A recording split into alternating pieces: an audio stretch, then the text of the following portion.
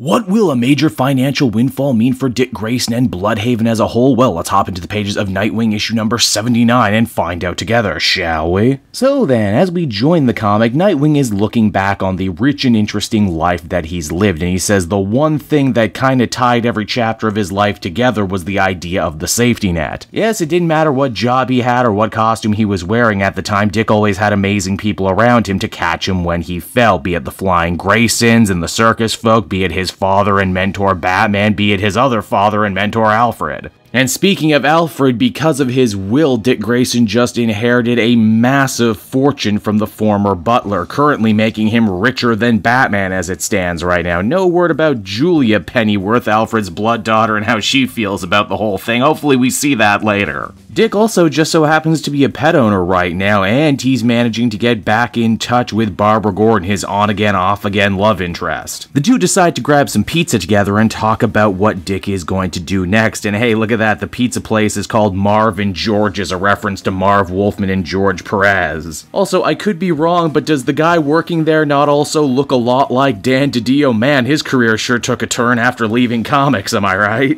I love the little stuff too here when Dick finally realizes that he's so rich he doesn't need to buy pizza by the slice anymore and can buy a whole pizza instead. Barbara and Dick decide to eat in the shadow of one of Blüdhaven's most well-respected statues, one honoring the whalers that founded the town. Dick says that he always liked the sentiment that was in Blüdhaven, this idea that regular people can battle monsters every day and come out the other side. Dick also confides in Barbara that at the end of the day he always felt Bruce could have done more with his amazing fortune, but he was too busy punching bad guys to look at the bigger picture. Furthermore, Dick is only just now getting back to himself after losing his memory, and Dick starts to wonder about his own personal legacy and the mark he'll leave behind. Oh sure, he saved some people, even saved the world a couple times, but if he still thought he was Rick and never got his memory back, would it have mattered? Dick also gets a chance to put his money where his mouth is when a homeless guy and his son asks him for some change. Dick doesn't actually carry much cash around with him, but he figures, hey, I'm a rich guy now, I can actually feed you. In fact, I can feed all your homeless friends too while I'm at it. Ultimately, it's a win-win for the community too. These hungry people get to eat so they don't have to beg, and oh yeah, this failing pizza place now just got a huge influx of business, so it gets to stay open too.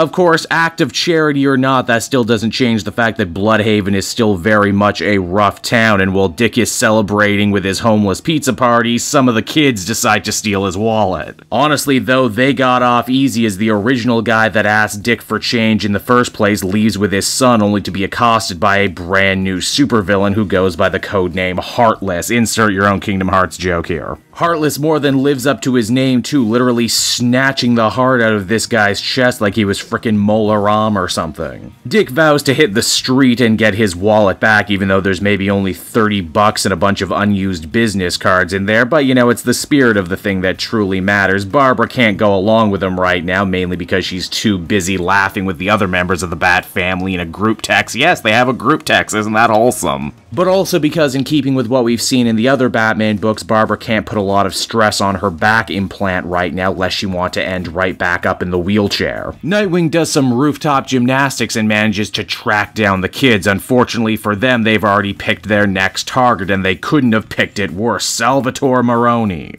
famous Gotham gangster who is now resurfaced here in Blüdhaven to give congratulations to the daughter of Tony Zucco, who has just so happened to become the new mayor-elect of Blüdhaven after Blockbuster killed the old mayor in the previous issue for not following orders. This means Nightwing's evening has quickly changed from apprehend some prepubescent pickpockets to actually try and save these kids' lives from murderous gangsters. After some car hopping and a quick little chase, Dick does actually manage to follow back on up with the pickpockets. It seems that they're all living under a bridge in a massive homeless encampment made up almost entirely of children. That's weird enough on its face, but it's made even stranger by the fact that a little girl asked if he's the man who's been out there stealing hearts. Ooh, this definitely thickens the plot as things come to a close. And so that was Nightwing issue number 79, everybody, and once again, Tom Taylor and company manages to turn in another real winner There's something so really warm and wholesome about seeing such a positive guy like Dick Grayson given all the power and resources in the world to make some real lasting change in his community. It's a nice little evolution on the oh so classic comic book power fantasy from what would you do if you had the physical prowess to beat up criminals to what would you do if you had the power to actually stop crime at a more grassroots level. I like getting to see Maroni and Zucco and all the traditional Gotham mobsters get taken out of mothballs again. I feel that's a set of villains that is so often overlooked and forgotten, and that's before we even talk about the new villain Heartless, who seems pretty damn creepy.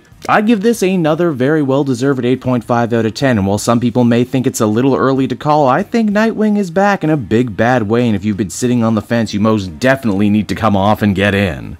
Hey there everyone, Caped Joel again, and I want to thank you so much for watching to the end of the video. As always, if you liked what you see, be sure to like, subscribe, comment. It really helps drive engagement and helps me out too. Also, if you are a patron, which you can become for as little as a dollar a month, you will get exclusive content that no one else can ever see, and you'll get to see the Comic Multiverse podcast before anyone else too. You can check out all this and more down in the description. And until next time everyone, this has been Caped Joel, and I'll see you all next time. Cheers.